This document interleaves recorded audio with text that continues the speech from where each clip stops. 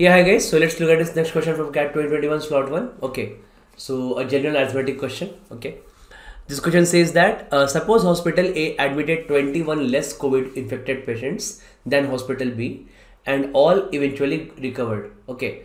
So the sum of recovery days for patients in hospitals A and B were 200 and 152, 152 respectively.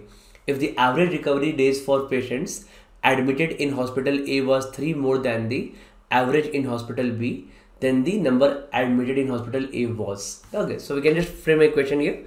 Frame an equation here. So it says that, uh, so let's say in hospital A, so let's say in hospital A, there was some A uh, number of COVID patient is A. Okay, so it says that number of uh, COVID patient is A and it is 21 less than in hospital B. So obviously in hospital B, number of COVID patients will be A plus 21. Okay. So number of COVID patient will be A plus 21, right? Acha. Now uh, it says that sum of recovery days for patients in hospital A and B were 200 and 152. And uh, so actually what I can say that if if there are 200 patients here and, and, and what I've given is uh, what I've been given is average recovery days for patient in admission admitted in hospital A was three more than average in hospital B. Okay, that means uh, that average recovery days difference between A and B. So in A it was three more than B. So that A and B that difference is actually three. Okay, this is what I can say here. So if there are 200 if the sum of recovery days for patients in hospital A are 200 and there are a COVID patient actually. So what is the average? So average recovery will be 200 by A. Hana? That will be 200 by A. Correct? Now same goes for B. If there are 152 recovery days for all the patient of COVID patients in hospital B, okay, and there are total A plus 21 COVID patient. So what is the average? Average per day recovery. So the average uh, recovery day. Uh, so uh, the average recovery will be how much? 200 by a plus sorry not 200 guys.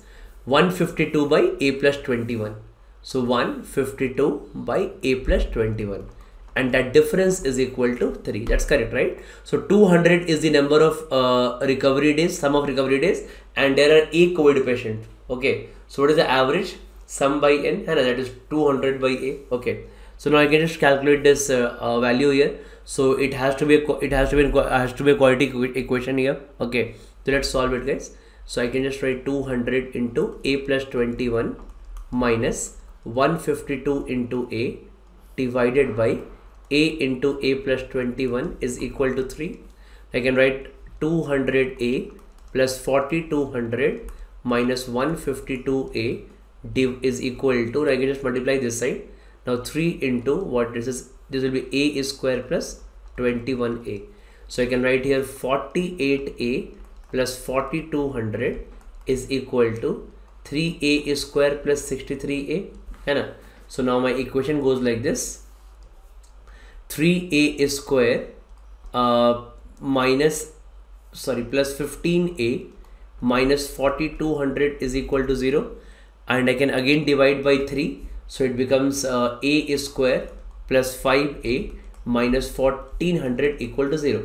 So try to make a difference of 5 here with 1400. I want difference of 5. So if you break 1400, you can just think like this here. Okay. So what is 1400 actually? So 1400 will be some 14 into 100. I want difference of 5. Let's move closer actually. So I can write also 17 into 20. Again, I want difference of 5. So again, move closer so I think I can just like I can double it no? 20 double is 40 and 70 half is 35 that's correct. So this difference of 5 I got.